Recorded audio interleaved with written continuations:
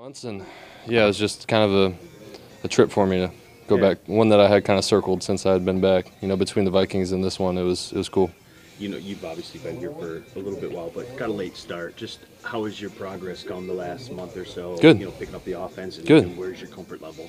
Yeah, I mean, I'm I'm ready whenever they need me. So I'm uh, I feel like I've got a good handle on the offense. Uh, haven't been able to run the plays, obviously, just because I've you know my job right now is to be the backup. So I'm just uh, ready to go whenever they call on me, and uh, right now I'm running the scout team. Could So they call on you Sunday possibly?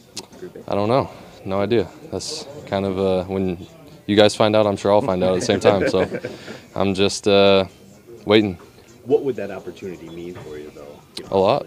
Yeah, I mean, I've, I've waited three years for an opportunity. I've, I feel like I've gone out there in the preseason and put my best foot forward in every single game that I've been in for three years, and um, you know, haven't quite gotten that opportunity yet. Um, but just trying to trying to keep the faith and uh, you know, just know that something good's going to happen down the line if I keep you know doing what I'm doing. Is that frustrating? Because uh, I talked to some folks in Minnesota, and they said we couldn't believe he wasn't on this team the way he played. Yeah, I mean, it, you know, I, I kind of understand that, you know, being an undrafted quarterback, uh, quarterbacks are typically drafted to be the face of the franchise. There's not many guys, you know, like Tony Romo and the Kurt Warners walking around, you know, for good reason. So, um, you know, I, I don't think that it's a lack of talent. I just think that, you know, guys are drafted and, you know, that's kind of when you put some draft capital into somebody, you kind of have to, they got to play. Does So- your belief that you could be one of those guys is that what keeps you going? Oh, I know I can be.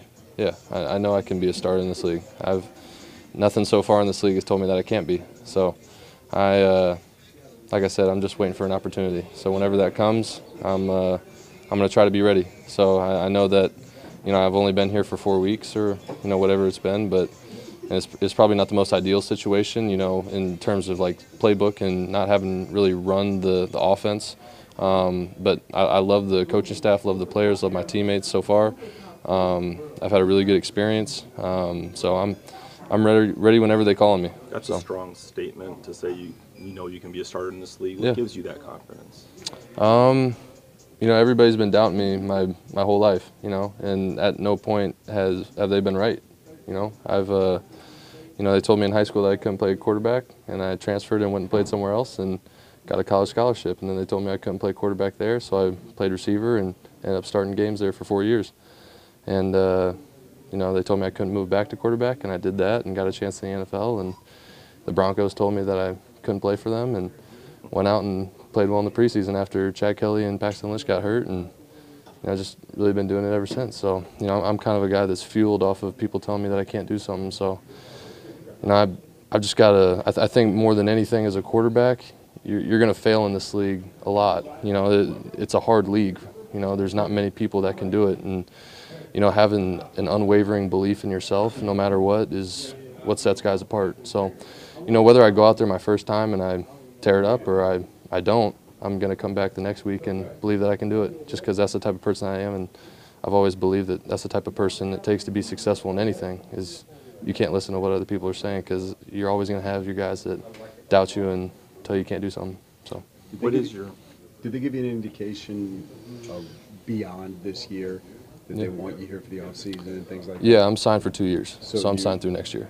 Yep. So I signed a two year deal uh, a, a month ago or whatever it was. So I'll be here next year as well. what do you So- think is your strength as a quarterback? Is it mobility, your ability to read defense, your arm? We, I haven't looked, seen a lot of your films. Yeah. Um, no, I, I think that it is mobility a little bit. Um, I think that you know I, I thrive making plays outside of the pocket. Um, I also think I'm I'm good within the pocket, and you know I.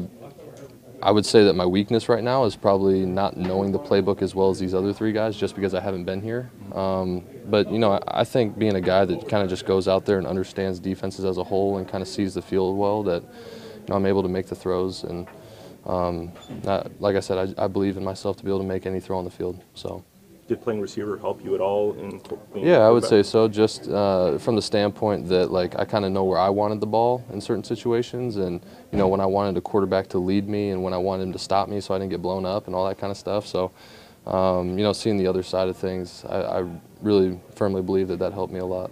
You got So- your four, I'm sorry.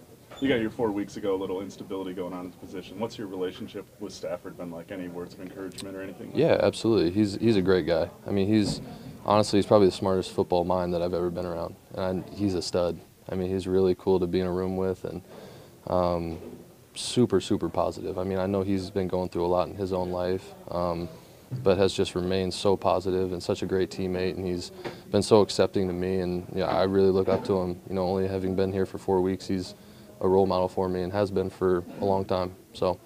He's a, a great guy and happy to call him a teammate and a friend now.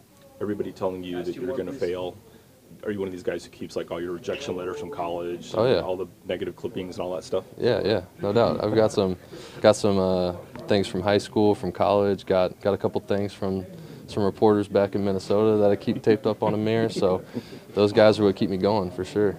I'm I'm not a I told told you so kind of guy, but I definitely think about it. So What was the message from the coaching staff today about how things went for the offense yesterday for the guys? uh, you're saying for our meeting today? Uh, we haven't met today. Oh, okay. Yeah, so yeah, we're meeting here in a little bit. So uh, haven't gotten a message or anything um, from them today. But yesterday, you know, obviously our main message is that losing isn't acceptable, and everybody knows that. You know, we want to go out there and put our best, uh, our best on the field every single time that we go out there. And you know, unfortunately, we didn't get it done yesterday. But um, you know, I know everybody in here. We work really hard every single day, and you know, coming from some other places, I know that the, there's a lot of structure here and a lot of time put into the game plan and a lot of effort and from everyone from all all levels lifting everybody's in there grinding so um, you know it is frustrating but I think that you know with the leadership that we have from the the top to the bottom I think that we can get it turned around so I'm excited about the future Thanks. Thank you. Appreciate it. Appreciate it.